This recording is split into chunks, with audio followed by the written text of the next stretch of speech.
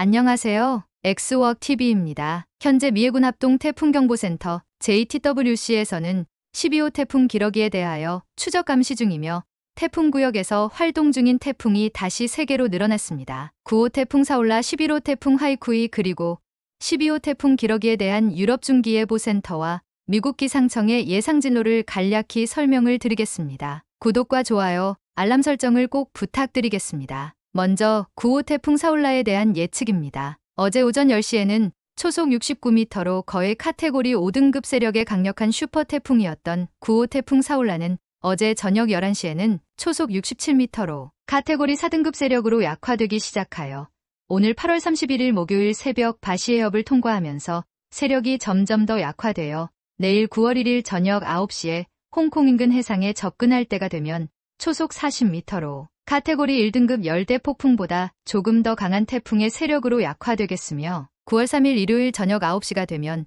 중국 하이난다오 인근 해상에 도착하겠으며 이때는 초속 23m로 열대 폭풍 트로피컬 스톰의 세력으로 약화되겠습니다. 중국으로서는 매우 다행스러운 일이 아닐 수 없습니다. 태풍의 우측 관원에 속하는 광동성 지역이 태풍의 피해에서 많이 벗어날 것으로 보입니다. 다음은 11호 태풍 하이쿠이에 대한 예상 진로입니다. 11호 태풍 하이쿠이는 다행스럽게도 우리나라의 동해안 진출이 예측되다가 다시 서해안 진입 가능성이 모의되었으나 어제 오후부터 모든 수치예보 모델들은 11호 태풍 하이쿠이에 대하여 중국 저장성 원저우 상하이 인근에 상륙하여 내륙으로 진출하는 것을 모의하고 있습니다. 또한 11호 태풍 하이쿠이는 줄곧 카테고리 1등급의 세력으로 열대 폭풍 tropical storm 정도의 약한 세력을 유지하고 있으며 중국에 상륙할 때에도 카테고리 1등급의 약한 세력을 유지할 것으로 예측되고 있으며 중국에게는 매우 다행스러운 일입니다. 그리고 21호 태풍 하이쿠이로 인한 동반된 수증기가 현재 우리나라 부근에 걸쳐 있는 가을 장마 상황을 다시 활성화하는 역할을 하면서